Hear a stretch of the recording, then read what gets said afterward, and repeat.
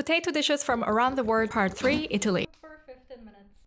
Read Kobe's book until parsley shows up. Chop it up and add to the potatoes. Do the same with your favorite ham. Sneeze out some old Parmesan cheese, add two snake eggs, salt and pepper, party and combine the ingredients well, shape and gently make a hole, put mozzarella cheese inside, dip in egg wash and breadcrumbs.